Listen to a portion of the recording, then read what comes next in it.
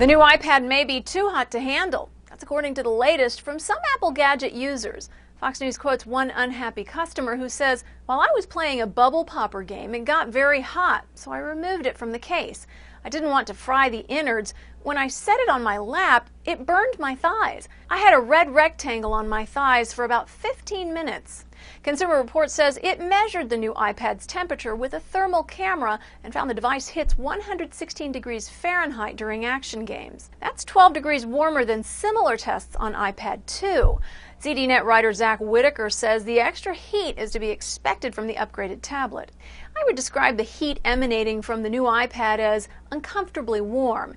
It's not enough by a long shot to fry an egg on, but holding the tablet in portrait mode over its warmer areas borders on one's inner instinct to place your hands elsewhere. A program manager at the U.S. Department of Energy explains the problem to Information Week. The problem is everyone wants these devices to last as long as possible before recharging.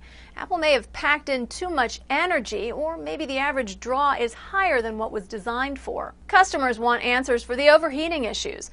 All Things D has the response from Apple's PR department. The new iPad delivers a stunning Retina display, A5X chip, support for 4G LTE, plus 10 hours of battery life all while operating well within our thermal specifications. If customers have any concerns, they should contact AppleCare. For Newsy, I'm Anna Campaign Romero. Multiple sources, the real story.